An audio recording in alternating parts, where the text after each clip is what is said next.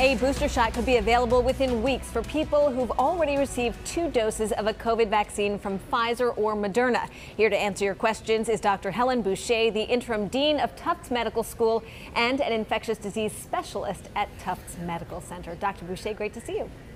Great to see you. All right, we've been talking about these third doses for months now. Now that we are hearing within the next few days, federal health officials will finally recommend them to people who've been fully vaccinated for more than eight months. So, why is that the magic number, eight months?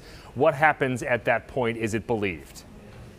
So, Ben, there's been some data from Israel and now from the Mayo Clinic suggesting decreased protection against infection after about six months. Importantly, though, there has not been a sign of decreased protection against getting very sick or death.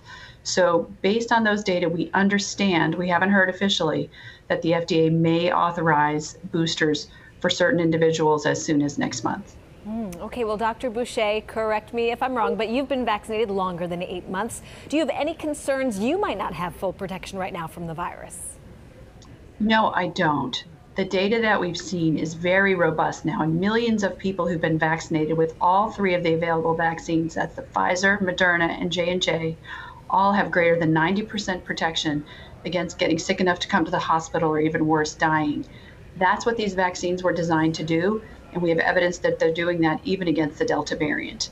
So, we're getting a lot of emails today, hearing from a fair number of viewers, most of them frustrated that they have not heard anything, nothing at all about a booster shot for the Johnson & Johnson vaccine. We know hundreds of thousands of people here in Massachusetts received that vaccine, 13 million across the country. When are we going to know if they're going to need one? Well, the FDA tells us that they didn't have enough data and the CDC to make a recommendation last week when they gave us the recommendation for the third dose in our immunocompromised patients, but they promised that they would have more data soon, and I think you'll see recommendations for our patients who received J&J relatively soon. Yeah, specifically, some viewers have asked about switching to a different type of vaccine. Mary, for example, writing, I am immunocompromised. Can I get a non J&J booster? Yeah, it's a great question. And so far, the recommendations that we have are to follow like with like. So if you received Pfizer, that you would get the third dose if you're immunocompromised with Pfizer. There are studies ongoing to look at both the safety and effectiveness of mixing vaccines, and I hope we'll see data on that very soon.